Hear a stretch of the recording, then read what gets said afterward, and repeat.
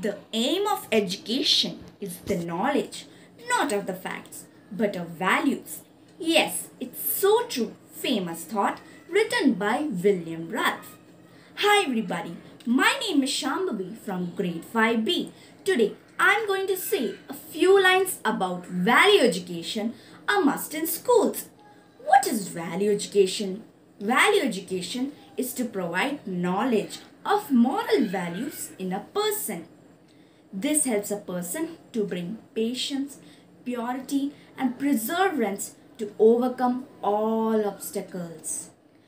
And if a person gets this value at his early stage of life, he would become a divine soul away from all jealousy, conceit, laziness, and many more. That's why it's must for schools to introduce a subject called moral science.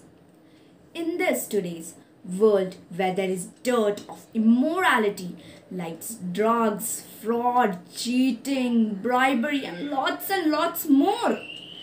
A child should be fed with great values so that he or she could rise like a bright lotus from a muddy pond.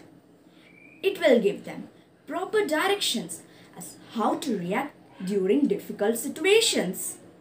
Children's minds are like wet clay, and it's the responsibility of a school and parents to mold them into a beautiful pot to carry all the responsibilities of their life very well. And it's truly said that if wealth is lost, nothing is lost. And if health is lost, something is lost. And if character is lost, all is lost. Thank you.